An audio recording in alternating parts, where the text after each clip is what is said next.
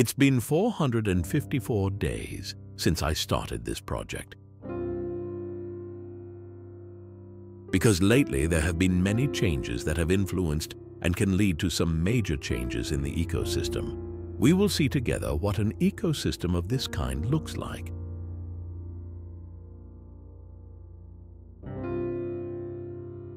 Where a filter is not used. The plants grow without the addition of carbon dioxide or fertilizers of any kind. And no water changes are made. On this YouTube channel, you can find detailed information about all the problems I encountered. This is the summary of the first year. Here is a tutorial about growing plants without carbon dioxide. And here is another tutorial about all the details of how I made this ecosystem. This is an experimental ecosystem. About 30 days ago, I decided to plant a series of new red plants to see which ones could survive without the addition of carbon dioxide or fertilizers. And because the light was low, I also increased the intensity of the light.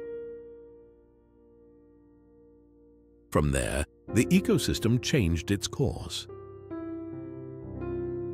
The big problem of any aquarist is present here too. Algae. Although algae are more of an aesthetic problem, the cause of their spread are some deficiencies of the ecosystem. What deficiencies does this ecosystem have? It is difficult for me to list the ones I know because there are too many. But there are also deficiencies that I either do not know about or that can be proven with the help of tests in laboratory conditions. But starting from the basics, I try to eliminate the effects, the cause. In this case being the high intensity of the light. There are already snails and shrimp in the aquarium that feed on algae.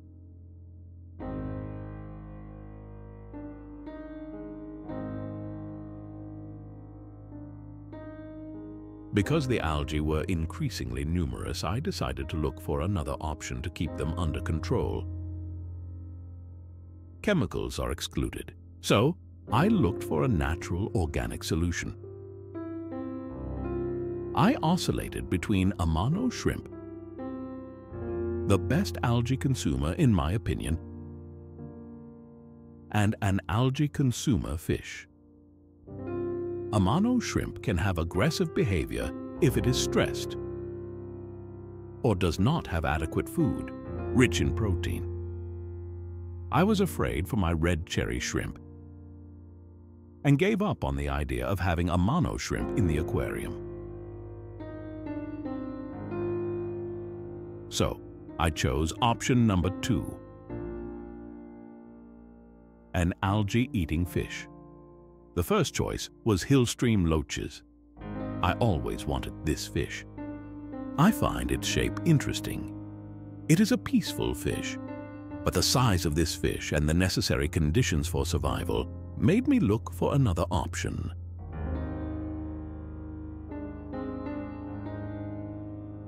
So after long research, I chose this fish. Otto dwarf fish. It is not exactly a small fish, but compared to other algae-eating fish, it is quite small, reaching maturity at 5 to 6 centimeters in length.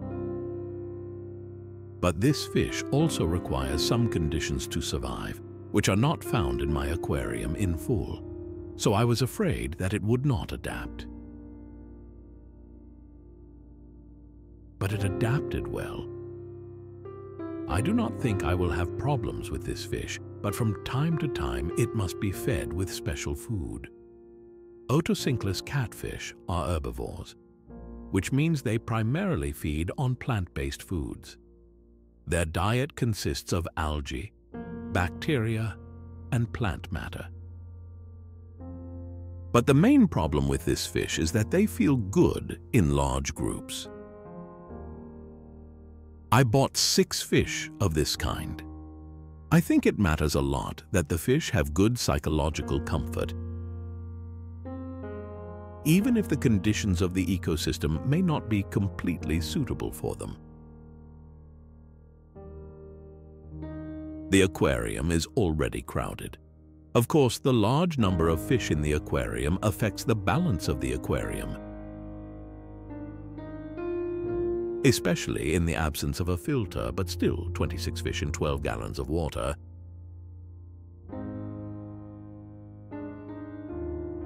So after I planted the new plants, I increased the light intensity. But I also bought some fish to eat the algae.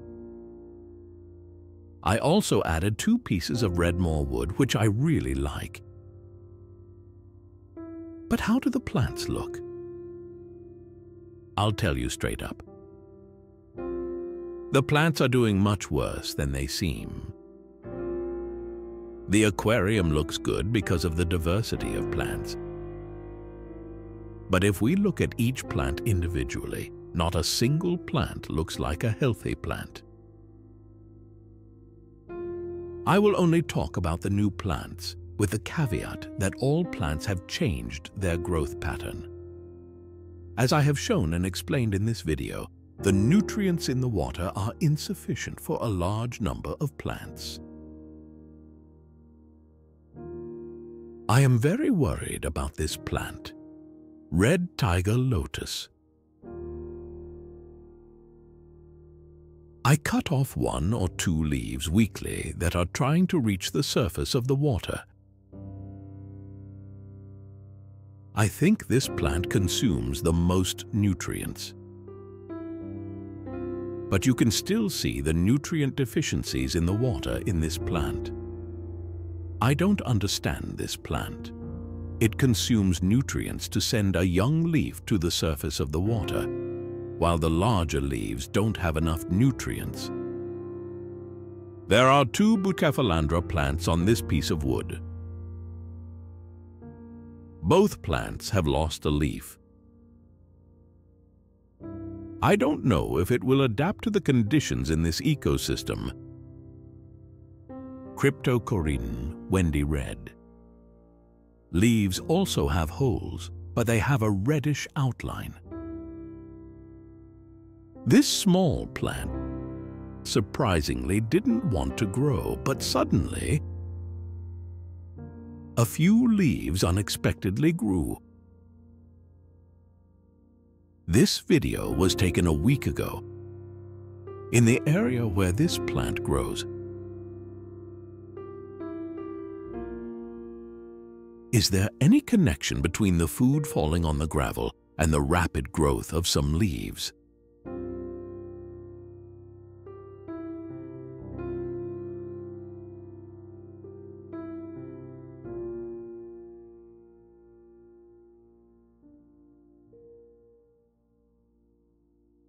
This plant has algae. It is not a problem for red cherry shrimp. But the leaves of the plant die. If many leaves die, eventually the plant will die too.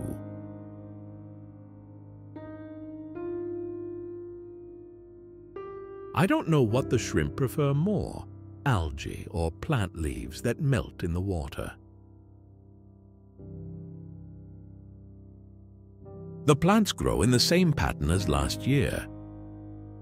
On the surface of the water, the plant looks good, seems healthy, is beautifully colored red.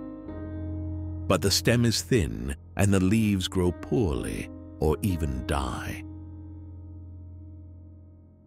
I am convinced that after the number of plants is smaller, meaning some of the plants will die, the remaining plants will grow much better.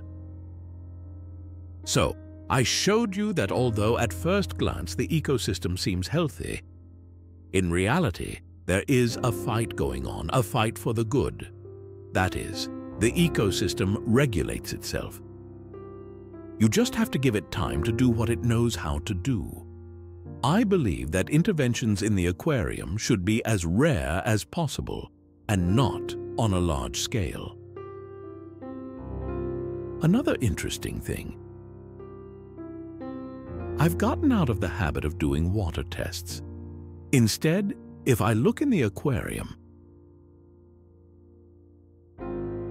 I can tell if something is wrong. The ecosystem being balanced, when something changes, there are no sudden changes. You just have to observe the plants, snails, shrimp, fish, and you quickly realize when something is wrong. This doesn't mean that I don't completely exclude the use of water tests. It's just that I've gotten used to reading the living indicators in the aquarium that show the stability of the ecosystem. Next week, I'll tell you about the maintenance of this aquarium. Because I'm sure there are some things you don't know. And I'll show you some tricks I use to help the plants grow. Thank you for being here and helping me continue with this project.